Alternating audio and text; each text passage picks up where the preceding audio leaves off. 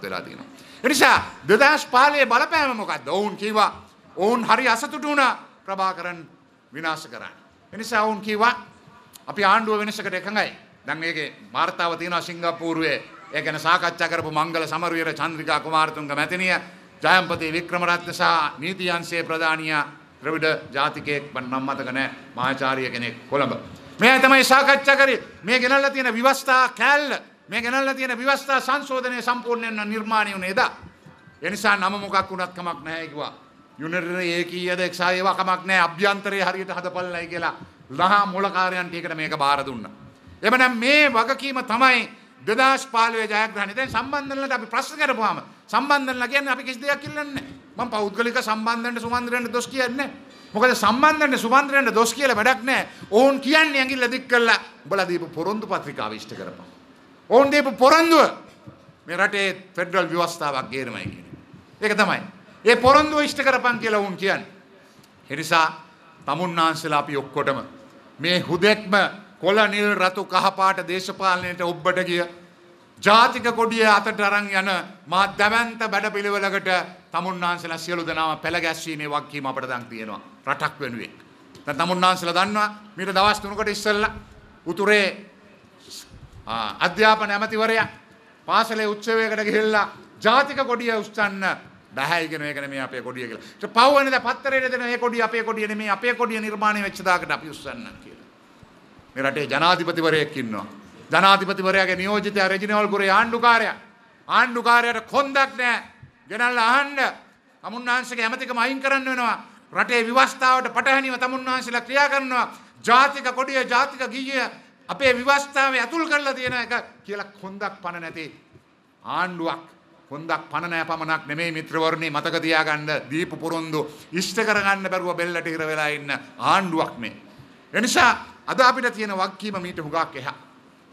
අපිට බොහෝ අවස්ථාවල ඔය කට්ටිය අවුරුදු දෙකක් තිස්සේ උත්සාහ කරා මහින්ද මහත්තයා සහ මහින්ද මහත්තයාගේ ගෝලියෝ බාලියෝ හොරු හොරු හොරු හොරු කිය කියන්නේ.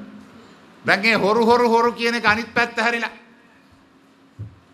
ඒ ගැන මං හිතන්නේ අපේ තවත් කතිකයෝ දෙන්නෙක් ඉන්නවා කතා කරයි හොරු හොරු ගැන කතා කරනකොට මට මේ දැක්කේ ඊයේද කොහෙද පත්තරේ තියෙනවා මෙන්න හොරු ටිකක් ඉන්නවා.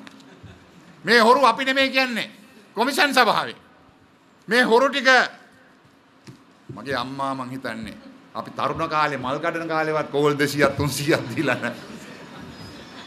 රවි කරුණානායක කෝල් 300යි රවි කරුණානායකගේ නෝනා කෝල් 300යි. 364යි. ප්‍රශ්නේ තියෙන්නේ දීලා තියෙන්නේ පාන්දර දෙකට තුනට.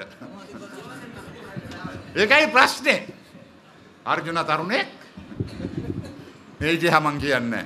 හැබැයි මේ හොරකම ලංකා දේශපාලන ඉතිහාසයේ මේ ලක්බිමේ වෙච්ච දැවැන්තම හොරකම පමණක් නෙමේ මතක තියාගන්න මේ හොරකමක් කරොත් පාරක් හදලා ඕකෙන් රුපියල් ලක්ෂයක් හොරගම් කරොත් ඒක පේන්න තියෙනවා. පාර නැවත හදත හැකි හැබැයි ආර්ථිකය නැවත හදන්න බැරි වෙන තැනකට මේ ආණ්ඩුව හොරකම් කරලා තියෙනවා. තව හොරෙක් හෙට යනවා කොමිෂන් ඉස්තරහා. කොමිෂන් ඉස්තරහා. සාක්ෂි දෙන්න. මිස්ටර් ක්ලීන්ලා අද කුඩු පට්ටම් වෙලා තියෙන්නේ මිස්ටර් ක්ලීන්ලා ලේබල් එක ගහගෙන මේ රටේ ධන මේ රටේ ධනය සූරාගෙන කාලා බැංකු ක්ෂේත්‍රය තුල විශේෂයෙන්ම පොලි අනුපාතය 124ට එනකන් නැගලා අද රටේ ඩොලර් එක පාලනය කරගන්න බැරි 155ට ගිහිල්ලා මේවා ගැන කතා කරොත් එළි වෙනකන් කතා කරත හැකියි. ඒවා බොහොම ශාස්ත්‍රීය කතා. හැබැයි ඒවා නෙමෙයි මෙතන අවශ්‍ය වෙන්නේ. අපි කොහොමද මේ සටනට මුහුණ දෙන්නේ? තමුන්නාන්සලා මතක තියාගන්න එක දෙයක්. අපි 54 දෙනෙක් අද ඉන්න ඒකාබද්ධ විපක්ෂ. අපි 54 දෙනා මා විප්ලවයක් කරනවා මේක ඇතුළේ ඉඳගෙන. අද ආණ්ඩු පක්ෂයේ ඉන්නවා මෛත්‍රීපාල ලොක්කත් එක්ක 40ක් ශ්‍රී ලංකා එක්සත් ජාතික පක්ෂ 106ක්. හැබැයි ඒ පමණක් නෙමෙයි. අර මේ අපේ සම්බන්ධීකරණය කරන විපක්ෂීය සම්බන්ධනලත් ඒ කට්ටියත් එක්ක. රතුවලු පටව ටිකත් ඒ කට්ටියත් එක්ක. විප්ලවය ගැන කතා කරනවා. අපේ අයත් පොඩියට පොඩ්ඩක් ඇත්නම් පොඩ්ඩක් පොඩි පොඩි ජොලියක් යනවනේ. මොකද අපේ පාර්ලිමේන්තුවේ හිටපු ගමන් අනුර කුමාර රනිල්ට බහිනවා පළු පැලෙන්න එතකොට අපේ අය කියන අන්න අමාර දිවිල්ලක් දුන්නේ කියලා බලනකොට හවසට සිරිකොතට කතා කරලා අනුර දිසානායකට කියන අද ගහ හෙට ගහපිය මට නැති වෙන්න කියලා හැබැයි ඒ ගහන ගැහිල්ල ආරම්භ කරන්නේ මහින්ද හොරා අවසාන කරන්නේ මහින්ද හොරා කියලා. ඒ අතරතුරේ පුංචි ගැහිල්ලක් ගන්න. පහුවෙනදට කියන රවි කන්නවා නේ ගහපිය කියලා. මූ ගහනවා. අපි අප්පුඩි ගහනවා. හැබැයි මේ සියල්ලම මේ සියලුම වැඩපිළිවෙලේ එක කොටසක් හැටියට මතක තියාගන්න. ඒ නිසා අද අපිට තියෙන වක්කීම් මොකක්ද? අද බඩු මිල ගැන කතා කරන්නේ නැහැ තමුන්නාන්සලා. පොල් ගෙඩිය අරන් විරුදු කතාවේදී මූලික කතන්දර ඔක්කොම කියවුණා.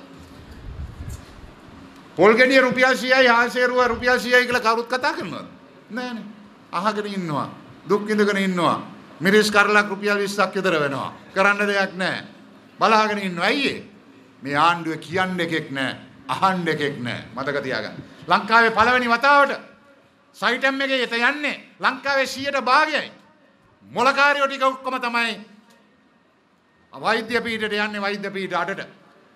මාස 10ක් යනකම් මහපාරේ කඳුළු ගෑස් ගහගෙන වතුර කැනන් වලින් ගහගෙන තියාගෙන හිටියා. එහෙම ප්‍රශ්නයක් මේ රටේ නැහැ කියලා ලෝකේ එකම රට වෙන්න ඕනේ. වෛද්‍ය පීඨ 8ක් වහලා වෛද්‍ය වෛද්‍යවරුන් මහපාරට දාලා අහක බලාන හිටපු. උන්ට ගාණක් නැහැ. දනුත් දීලා තියෙන විසඳුමේ රාජිත කියනනේ නෑ ඒ බොරුවට දීලා තියෙන විසඳුම කියලා. මේකේ ආණ්ඩු 3 4ක්.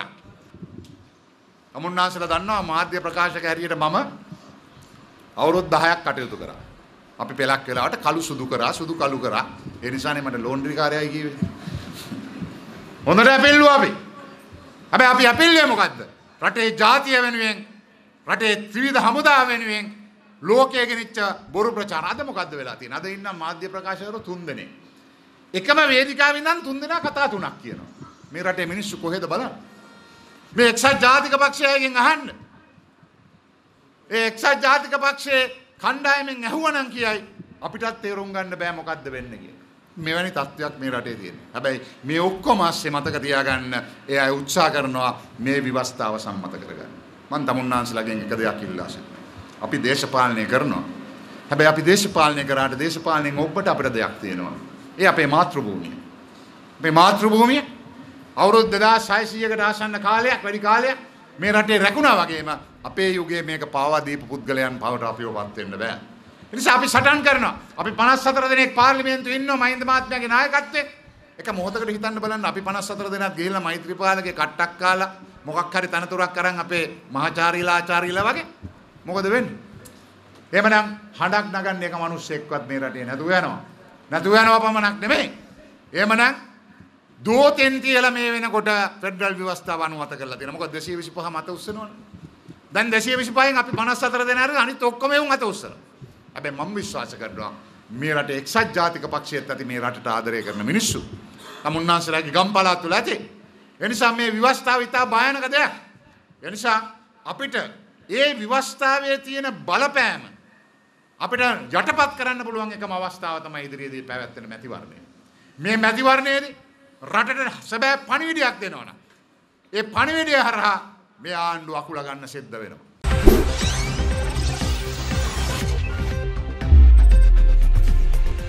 netnews.lk